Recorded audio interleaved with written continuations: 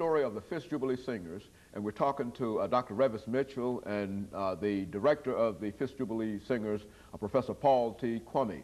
And of course, uh, Dr. Mitchell and uh, Professor Kwami, before we had our first commercial break, we were talking about uh, the music that the Fisk Jubilee Singers were able to bring to the world. But let's uh, talk about uh, the uh, tour. Let's have you to uh, talk about uh, the American aspect of that tour, and then Professor uh, Kwami can give us some information relative to the European aspect of it during this second segment of the program. Well, from Ohio, they went to Oberlin. From Ohio, they went to Chicago, Illinois. Mm -hmm. Eventually, they traveled to New York and Boston.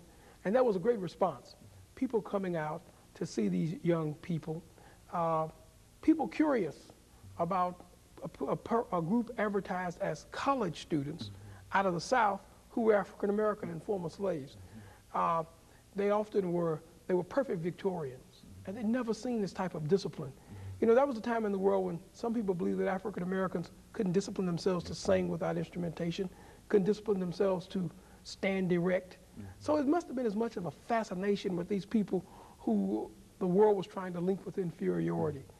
But they, they made some wonderful acquaintances. Mm -hmm. Samuel Clemens, Mark Twain, mm -hmm. began to adore the Jubilee Singers and sing their music. Ulysses S. Grant in the White House, uh, he should have given more support to what was going on down south because he cared and he began to hum the music of the Fisk Jubilee Singers. In New York, Carnegie Hall. Can you imagine young former slaves performing in Carnegie Hall?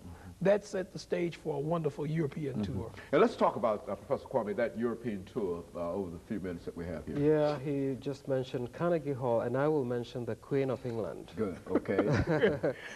because these young students in 1873 were taken, 11 of them actually were taken to uh, Europe, and uh, this is history. Um, they were they sang in England, and the Queen was invited to, to hear them. And she was so impressed mm -hmm. that she invited them back to her court. Mm -hmm. And as a result of that, the, the beautiful singing that she heard, uh, she asked her court painter to make a painting of these 11 students. Mm -hmm. That was given to Fisk University, which we still have in Jubilee Hall. The other thing we need to remember is that these Jubilee singers were the first to introduce the Negro spirituals to the whole world.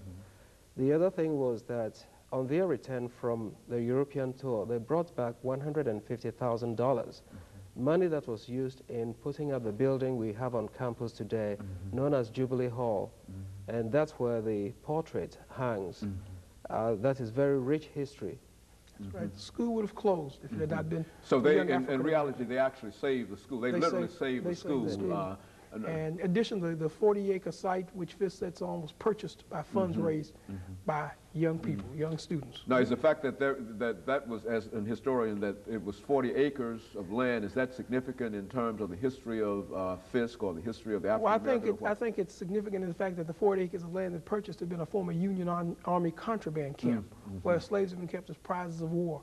Now, mm -hmm. the slave would be educated. Mm -hmm. uh, originally, the school operated downtown near the Union Station in mm -hmm. 40 little barracks. Uh, one of those is the little theater. But these young people purchased that site. It's the high spot in North Nashville, the same site we're located on now. It's the highest spot in North Nashville. And we think that's very significant, that higher education would take place at one of the highest points in town. And so the campus actually moved from its present location, I mean, from its earlier location to uh, the present location. The present location. So it was not uh, uh, founded in the spot that it is on now. Is that what It was actually founded in a spot near the Union Station mm-hmm. downtown. Mm -hmm where the Union Army had a hospital barracks, mm -hmm. a low-lying area that would flood. Mm -hmm. If you notice now, it's on a very high area. Mm -hmm. And Jubilee Hall name for the singers is often referred to as frozen music mm -hmm. because of its architecture mm -hmm. and splendor. You know, Professor Kwami, when you talk about that European tour, give us some more impressions of how the Europeans uh, reacted to uh, this group of African Americans. It was just as um, the experiences they had in the north here. There were people who did not believe that colored people, as they were called mm -hmm. then, could sing, mm -hmm. you know, in a disciplined way. That was one impression there were comments that people made saying they walked so quietly to their seats, mm -hmm. took their places. Mm -hmm. That was discipline. But mm-hmm. again, the type of music they sang was very different and so very appealing to them, to the point that at places where they were to sing, there were people who were in very much doubt. Mm -hmm. But as the news began to spread that the, the music was wonderful, they began to draw larger audiences. Mhm.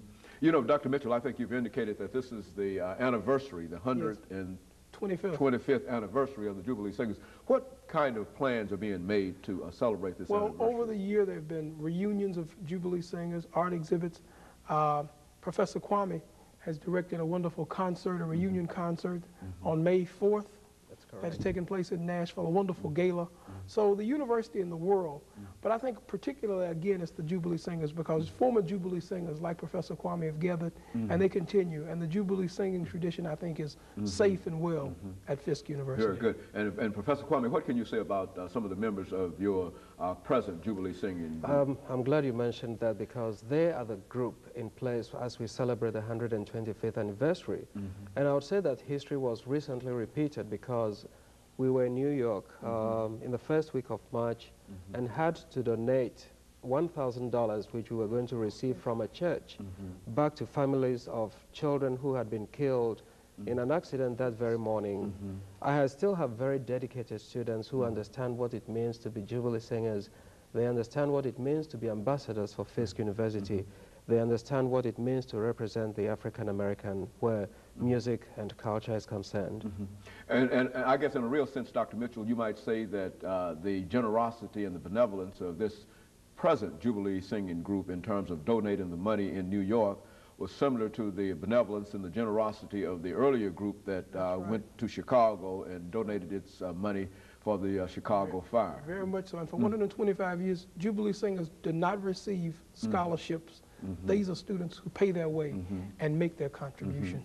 And of course, what we have during the uh, second segment, I mean the final segment uh, of, of this show, as the two of you know, uh, which will come up over the next uh, minute and a half, will be uh, a final segment dealing with the Jubilee singers themselves and other things that are generally Wonderful. associated with it. And I think it will give our audience not only an opportunity to uh, hear the story of the Jubilee singers as told uh, in an excellent fashion and form by you as an historian and by Professor Kwami as the director, but they'll also have an opportunity to hear some of the Well, let me uh, take singing. let me take this opportunity to invite our audience and all of Nashville.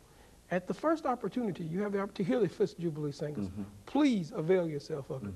And of course, they do sing quite often around here, do they not? yes, in fact, they'll, they'll be singing um, at the Ryman Auditorium on May 4th. On the 4th That's of May where- in- yes. at the Ryman Auditorium. Yes. Very and, good. And every October 6th, come to Fisk and see this year's edition of the And Jubilee let me Singers. thank the two of you for coming by and giving us that excellent information uh, this morning. And as we said before, we will have, we'll be back with our audience during the final segment with the story of the Jubilee Singers in song.